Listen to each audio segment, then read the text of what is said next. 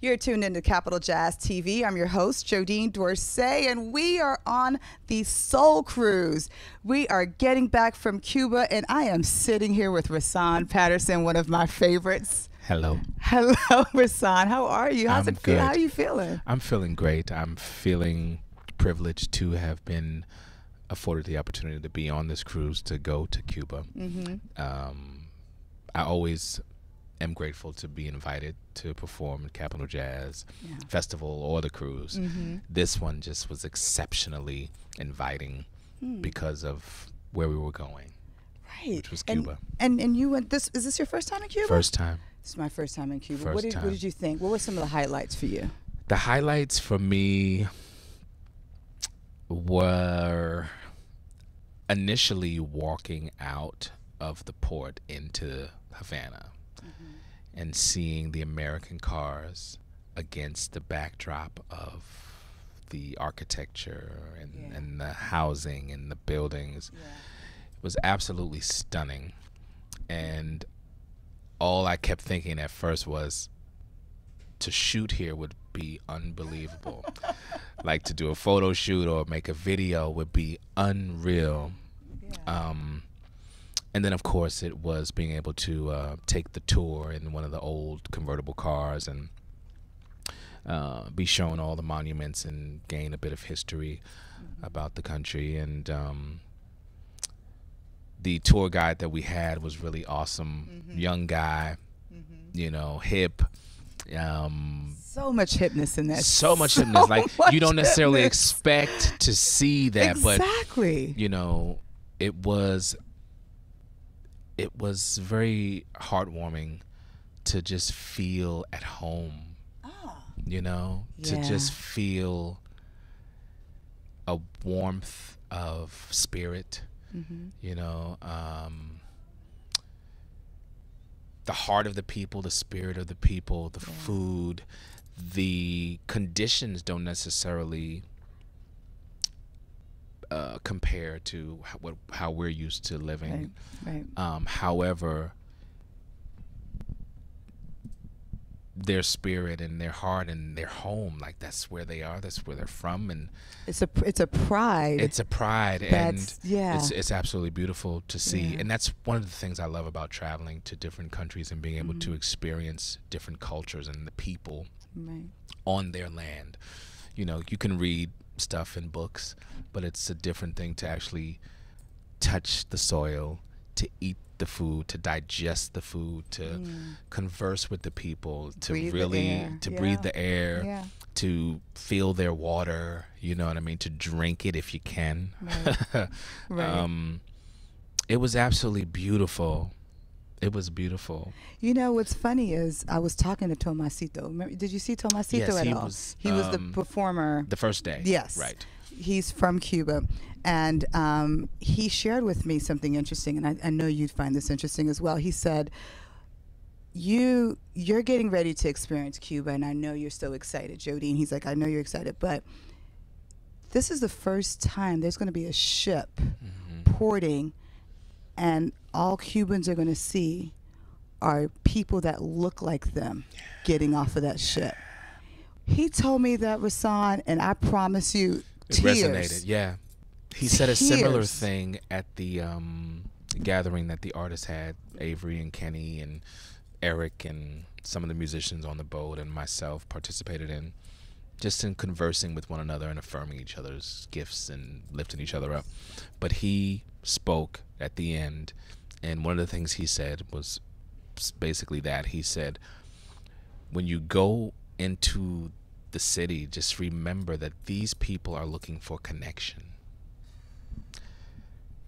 You know, and when he said that, I was like, wow, because we had been in Santiago, and when you first get to Santiago, um, you know, you experience the people selling and wanting to get Right. the money and stuff. Right, So right, the you know, the hustle. So when you come from America, instantly you're like, okay, they're getting their hustle on. You got to respect that. However, and you have an understanding of why the hustle is so strong. Absolutely, absolutely. But it wasn't until he said that, by the time we got to Havana, that it really penetrated because it was mm-hmm. like because the hustle is the first thing on your mind, you're missing that they're actually just They just want to hold you. They just want to touch you. They're like, what? Yeah. What? So to be able to get to Havana and go into the markets and interact with you know certain cats that would just come up and start talking and just feeling the love and the humanity and the blackness, it was Yeah. just wonderful. It was it was everything. It was everything, and I, I- yeah, I, I, I ditto to everything Rahsaan just said because it was, it was, de- it was definitely a life for me, a life changing moment. Yeah. Um, yeah, for me, a life changing moment. But outside of Cuba and just the excitement of this soul cruise that you just experienced. Back to while we're here. Rahsaan. Rahsaan, are, so word on the street is, even though he just told me, word on the street is you have an album dropping in 2017. I do. Yes. I do. And uh, it's called Heroes and Gods. And it is just a continuation of where my previous albums left off and what they have evolved to. Um, there are a couple of collaborative efforts that will be on there. One with um, Rachelle Ferrell and Joi Gilliam. We all wrote a song together. Um, Joi is singing background on it with me. Uh, Rachelle just wrote, which was awesome enough. And uh, another track with Trina Broussard and Latoya Williams. They're both singing on it, and then they wrote it with me too. Yes. Um, A, a lot of Atlanta on this album. Well, Joi doesn't live in Atlanta anymore. anymore, but, yeah, she yes, spent a lots of ATL large in this album. amount of time. Yes, Yes. a lot of ATL on the record. yeah. Um, I do shows there often. Trina lives there. She loves it there. So when I go, you know, I do have uh, root there with friends and friends that are family, basically. Um, but yeah, the record is coming out this year. There will be a first single within the next few months. Perfect. Perfect. Perfect. Because I have been waiting for for some for some new material from you. Um, in between the last album to now, what have you been up to? It has been, well, it will be six years in between since the last album and when this one comes. Um, I've been living life. I've been um, being creative. Okay. Always that. Uh, taking pictures, photographs of people. Do I do I smell a photography? Absolutely. Absolutely. Yes. Photography, Mhm. director, filmmaking thing that's happening. Nice. Yeah. It's nice. wonderful. And um, I also, in 2015, went back into musical theater. Hadn't done that since I was a kid.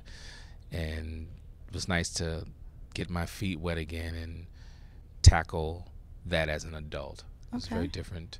Is it still the is it the music is it the is it a production that's out right now? no, Like, it was, a, it was a production that I did in 2015 in LA. Uh huh. it um, was had a run for about three months, and then the following year, um, it got rebooted with new producers. Okay. You know, with the hopes of taking it to Broadway. So I didn't take part in that one at all. Uh, I was making my album Okay. at the time, and um, it was wonderful. So Nice. yeah, I've been around being creative, and the thing about social media too, I meant to mention earlier when we were Uh-huh. talking, is that even when you're away now from the scene, social Mm-hmm. media gives people access to you daily. Absolutely. You know, so Absolutely. really, you know, social media helps in that one doesn't necessarily have to fear that people will forget them right. because they don't have product out because you yourself now are Right. a product and people can just go to your page and have access to you and see your thoughts and see what you're posting so Right. yeah. Right. Right. People still being introduced to you too. Yes, even exactly. On the ship. exactly yes which is wonderful That's Which is crazy wonderful. to me. I'm like, do y'all know this is Rahsaan Patterson? right it's it's always nice uh, to garner new supporters Mm-hmm. um, and it's interesting the amount of people who don't know and i never really expect them to know usually i anticipate that people won't know just because that's the way it is. you know what I mean? That's the way that's the way it is. You know, there are people who are much more familiar with acts that have more notoriety, that are more Right. successful on charts and on the radio and stuff. And not that I haven't had those successes over my career, but I just don't take for granted that I walk out on the stage and everybody's going to know who I am. Of course, people who buy tickets, Right. you know, Right. and, and know that I come to their cities, they're going to be there, which is very nice. But I don't take it for granted at all, and I don't expect that people are going to just know. Right. So it's always nice to meet people after a show and they say, "Wow, I didn't know who you are. I'm just discovering you today, and that was very good show." And then and your voice, and then it's like, "Thank you very much, appreciate that." Now the record is over there, and it's twenty dollars. Pick up a CD. Yeah. Pick a pick Yeah. up a CD and support, and then you got those that are just like diehard Rahsaan Patterson cult followers, which is which is which wonderful. is yeah, it's Which gotta feel wonderful. good, no? Yeah, it is. It's um, it's really a blessing. Yeah. You know, uh, to know that you're impacting lives. You're altering spirits. Mm. You know what I'm saying? You Yeah. you're shifting people's consciousness and awareness and the power of that in song and voice is art. You know, it's it's it's really something. So I've- to be able to have the access to do that is a privilege and an honor, Right. you know. Did you know that that's what music was going to do for you personally and for your career? Did you know that Well, you I were stepping into this? I knew as a kid before I became professional, hmm excuse me, at 10, what I knew was that music was saving my life every day, Right. you know? So right. it wasn't until 12 years old when I understood, oh, wow, I can make a career of this. and then probably about 18 is when I, excuse me, hmm 18 was when I started to write songs for my first album and other people at the time. And that's when I discovered the intimacy and vulnerable aspects of Mm. being a l- songwriter hmm and a lyricist and a solo artist in that my approach was that it wasn't about making up songs it was sharing your life and your most intimate Mm. thoughts and with that comes a vulnerability that is really unmatched in a way Hmm. Hmm. because it's out there for the world to critique like it's one thing to be vulnerable one-on-one with Right. someone Right. and intimate, you know, that can be scary all by itself, but you multiply that by the world. Right. When you hit when you hit release. Exactly. And when they press play, right. when they press play, it's a lot Yeah. that goes along with that. yeah. Yeah. Yeah. Are you nervous? Are you any any butterflies? I'm excited. about the I'm excited. I'm I'm actually more excited than I've ever been of any album, which is very interesting. Wow. Um, the first one is always like, oh, it's the first one, Right, so right, that right. it kind of comes with the territory. hmm But this one, I'm more excited because I'm continuing to grow as an artist and as a producer and as a musician and challenging myself and stepping out further Mm. in all of those areas, you know. Um,